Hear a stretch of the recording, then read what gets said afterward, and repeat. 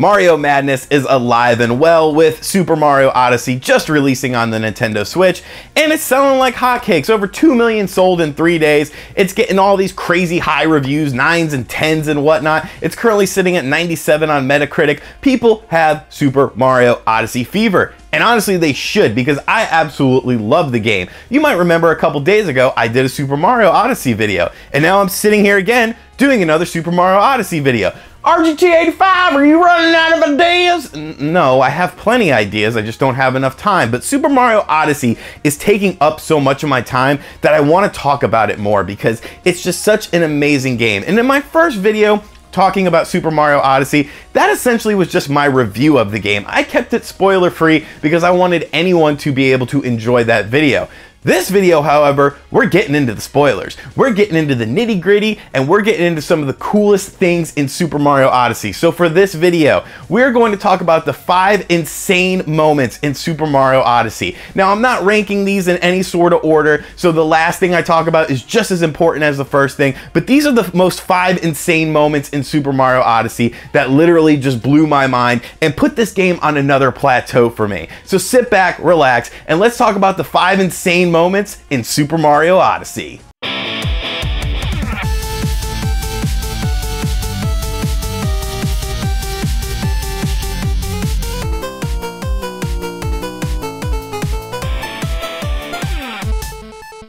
The first moment we're going to talk about is a huge spoiler, as will many of these moments. I think actually all of these moments are going to be spoilers, so you have been warned. I don't want to see people complaining in the comments, eh, spoilers, you ruined the game for me. No, I warned you.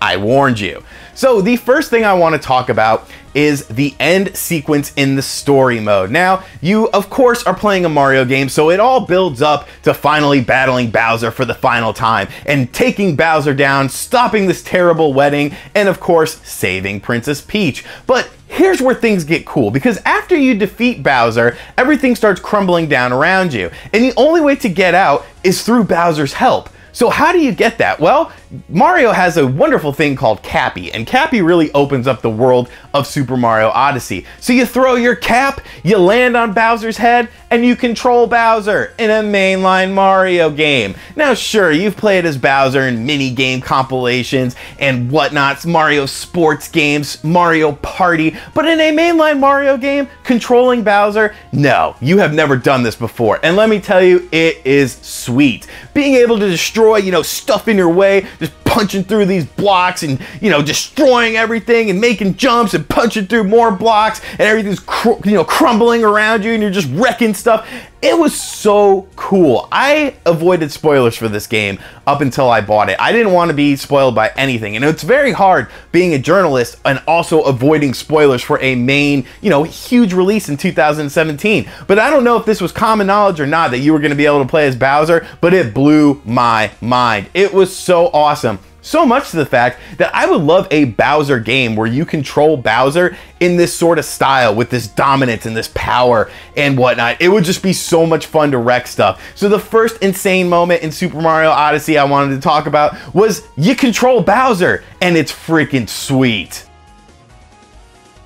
The second thing I want to talk about is something that's introduced pretty early in the game, but it doesn't really become super cool until a little bit later in the game. So I mentioned Cappy when talking about Bowser. Cappy is essentially your sidekick. You throw him, you control different characters, you control different inanimate objects. It really opens up the game and makes the gameplay so fresh. And early in the game, you're in this little jungle scene, this little forestry area that's very early in the game, and you encounter Yoshi's big brother. This big Tyrannosaurus Rex, and I am someone that loves dinosaurs. You put on the original Jurassic Park, I'm sitting there and watching the whole thing, even though I've watched it a million times, because dinosaurs were just so cool to me growing up. I used to have a collection of dinosaurs, and of course, like many kids, the T-Rex was my favorite. So you saw in trailers for the game that you would be able to use Cappy on this T-Rex, and honestly, it's a pretty cool little thing. I enjoyed playing as the T-Rex. It's definitely not as cool as playing as Bowser. He's not as strong, and the time limit does sort of make it, you know, a little bit weaker in my opinion because, you know, eventually Cappy's like, oh, I'm too tired. I can't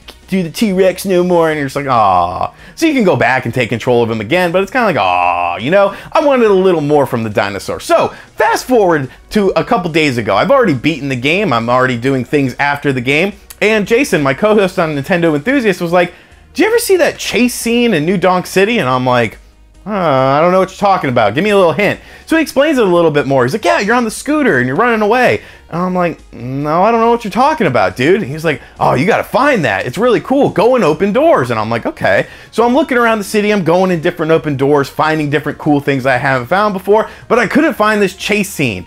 And then I found it. And basically Mario's sitting on a scooter and Mario is facing towards you with the camera. And I'm like, okay, this is kind of weird. So I just start going on the scooter and boom, here comes the T-Rex to chase it. And I was like, oh my God, this is so great. It was so great to see the T-Rex again. It felt like something straight out of Jurassic Park with this massive Tyrannosaurus trying to eat you and stop you from doing what you're doing, collecting power moons. And it's just so much fun. I've gone back and played that segment so many times because it's it's just, it puts a smile on your face, you know? Especially when you love dinosaurs and grew up loving dinosaurs. It's just so interesting to see this in a Mario game. Yoshi all grown up. Is this the only appearance of Yoshi?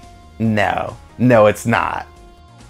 Sticking with New Donk City, I absolutely adore the level. It was so much fun to explore this level. And at first people were sort of like, oh, it's kind of weird, you know, Mario and humans and, you know, cars and stuff, but it totally blends together. It totally feels good. And it's my favorite area in Super Mario Odyssey. And in this level, you basically, the main goal is to help Paulina out. And Paulina is trying to put on this festival. You have to gather up musicians and then they do a festival. And the end of the festival, the end of New Donk City's level, was just so amazing. So obviously it's called New Donk City, playing on the fact that Donkey Kong was the first appearance of Mario as Jumpman. And so the end of the level Basically, Paulina is doing the One Up Girl song. So that awesome song is playing in the background. There's all these fireworks and all this cool stuff happening in the background. But the game transitions to one of those 2D scenes. And in this 2D scene, you play through Donkey Kong levels while the song is playing. And it's so awesome. And you just go throughout different segments of the city in this really long Donkey Kong level. So much to the fact at the end of it, is Donkey Kong and you have to defeat him all while uh, One Up Girl is playing in the background. Just so epic. So epic and so creative. And that's one of the best things about this game is the creativity. This was an absolutely insane moment that I loved and it just put this big goofy smile on my face because it was so well thought out and really just an amazing segment from the game. The final two things are pretty intertwined and they're both pretty insane. And a lot of it does sort of play a bit into nostalgia, but that's okay. You know, as long as it's something awesome, that's good enough for me. And so after you defeat Bowser, after you then save yourself, Mario, and Peach playing as Cappy, you get the end credits and you're like, okay, this was an awesome game, you know? I really had fun with this. And then you wake up in Princess Peach's area, basically her castle area, and you're like, what is this? What is going on here? I need to know more. Costumes are a huge part of Super Mario Odyssey. It allows for customization. You can have all sorts of cool different costumes that have throwbacks to Mario references, new sort of stuff. It's so cool. So you go into this shop and you could get a Super Mario 64 outfit and look like a polygonal Super Mario 64 and Super Mario 64 is my favorite Mario of all time. And I was just like, oh my god, I'm walking up to Peach's castle as Super Mario 64 and it looks so great and there's so much stuff to do around the castle. It was just, it was, it was amazing when I saw this. It just, it just felt so good because I love Super Mario 64 and the fact that there's all this fan service to the game, you know, right down to the costume and the polygonal look. I was just so happy to see this. And then I thought to myself, you know, what was that old, what was that old secret? You know, everyone used to, when you were on the playgrounds when Super Mario 64 came out, hey man, I heard the Yoshi's on top of the, the castle. You gotta get on top of the castle, man. And I was like, dude, you can't get on top of the castle. And eventually people did get on top of the castle, and Yoshi wasn't there, of course. So as I'm playing the this kingdom, I'm thinking to myself, I'm like, you know, I want to get on top of the castle. There has to be a way to get on top of the castle. I'm sure there'll be some purple coins or something up there. Let me get to the top of the castle. I go to the top of the castle, and who is there looking at me? Yoshi freaking Yoshi. And I'm like, oh, what's up, dude? And I'm like, bam, hit him with the cappy, and now I'm playing as Yoshi, complete with the little flutter jump where he kicks his legs and he goes a little bit higher, the long tongue, and I'm like, oh my god, like, are we serious right now? This is so good for me. This is so insane for me because it's basically giving me that same feeling I had when I was, you know, 11, 12 years old playing Super Mario 64 for the first time. It was just absolutely insane to see Peach's castle in this beautiful rendering, to see all the stuff to do, and to see Yoshi at the top of the castle. It just felt so good, and it was just, you know, it was beautiful. It was absolutely beautiful.